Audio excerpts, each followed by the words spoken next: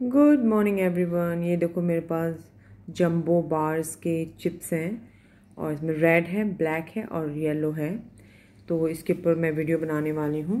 ये पेस्ट के साथ किसी की रिक्वेस्ट थी कि यू नो ब्लैक पेस्ट जैसे पहले आपने बनाया था उसके साथ फिर से ये मतलब यू नो ऐसा बनाओ। तो, तो यहाँ पे मेरे पास नकुमर पाउडर है उससे मैं ब्लैक पेस्ट बनाने वाली हूँ। ये आप लोग को याद है ना जब मैंने प्रिया लक्ष्मी बालाजी का अनबॉक्सिंग किया था, आपको बताया था उन्होंने पेस्ट ये पाउडर भी भेजा है। तो यहाँ पे मैंने थोड़ा ज़्यादा पानी डाल दिया इसमें, क्योंकि मैं इस पर जो भी एक्सेस होता है होगा गंदा वंदा वो पूरा ऊपर से मैं उसको रिंस कर दूँगी। ये जब इसमें हम पानी डालते हैं और जब इसकी पूरी नीचे बैठ जाती है मिट्टी तो हम ऊपर से इसके पानी को निकाल सकते हैं।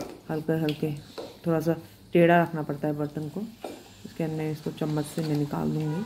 और जो भी पानी बचेगा वो यू नो ये स्लेट आइटम इसको सूख कर लेगा। ये देखो, यहाँ पे इतना अच्छे से पेस्ट बन गया है।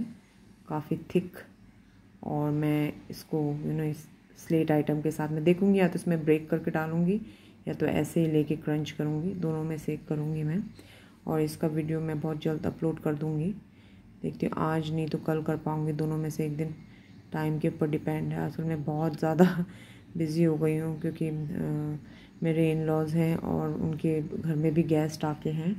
तो दोनों तरफ़ मेरे को देखना पड़ता अपना घर भी, उनका घर भी।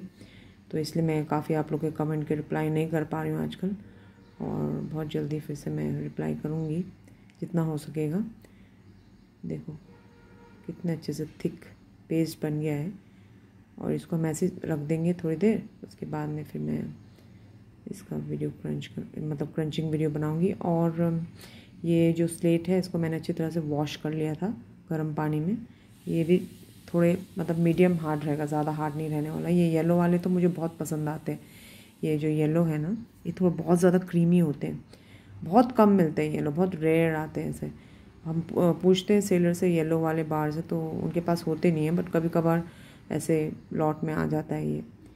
देखो, हमारा रेडी है। Chalo, bye. Love you all. Have a wonderful day.